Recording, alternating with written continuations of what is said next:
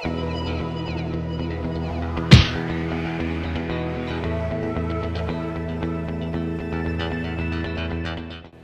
Team Dino. I just saw Jurassic World, and while I'm not really qualified to speak on the acting, the dialogue, or the screenplay, it'd be remiss of me as the dinosaur whisperer to not comment upon the scientific accuracy of the dinosaurs portrayed therein. So, without further ado, here are the top 10 dinosaurs of Jurassic World in relative descending order from least scientifically accurate, in my opinion, to the most scientifically accurate. Let's go. The Mosasaur in Jurassic World was incredibly impressive but maybe a little bit too impressive to be accurate. So by all accounts, it was about two to four times larger than they actually were in real life, and there's zero evidence they'd be able to jump out of the water to the height that it did to eat the great white shark. But one awesome detail they did include are the palatal teeth on the roof of its mouth, similar to a lot of reptile and fish species that we see alive today. Pterosaurs. I love the fact that there are flying reptiles in Jurassic World, but both the Pteranodon and the Dimorphodon were definitely too big.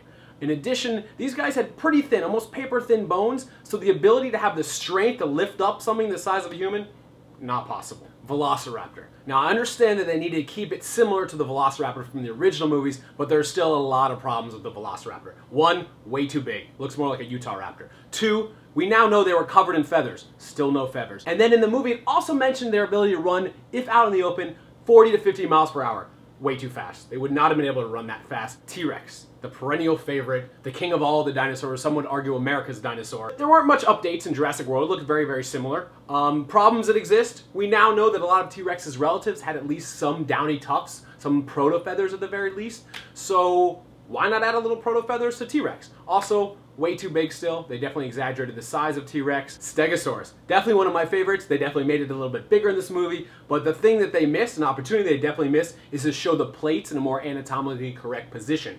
So we know that the plates were not fused to the spine, they're actually embedded in the skin, kind of like osteoderms, which means they probably laid flat along the side of its body except for in times when it was either displaying for mating purposes or maybe trying to scare away a predator. Two for one, the Apatosaurus and the Triceratops. I'm lumping them together because they did a pretty good job in displaying both of them. The horns look great on the Triceratops, but I'm still kind of disappointed that all these guys are this grayish, brownish, green, kind of like crocodilian color. Why not add a little bit more color? You added colors of Velociraptors, why do these guys gotta still look dull gray like an elephant?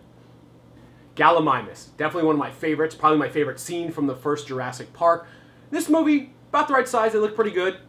But where are the feathers? Its name literally means chicken mimic. Can a brother get some feathers up in this piece? Ankylosaurs. Definitely had a more prominent role in Jurassic World than previous films. Loved them. I thought they looked great. The armor looked phenomenal. Those two bowling ball sized tail clubs at the end, amazing.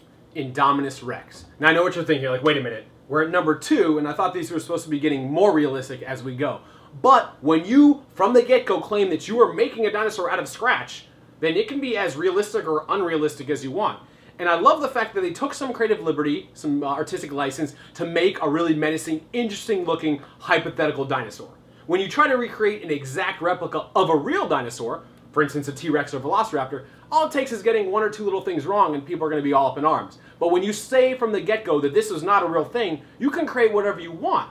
And the fact that they did that and actually used some elements from realistic looking dinosaurs to create something that in my mind, wasn't so far-fetched. I mean, we now know a lot of dinosaurs had those neural spines or had those weird, um, like, hair filaments coming out of their arms. It looked like a combination between an Allosaur, a T-Rex, and a Velociraptor.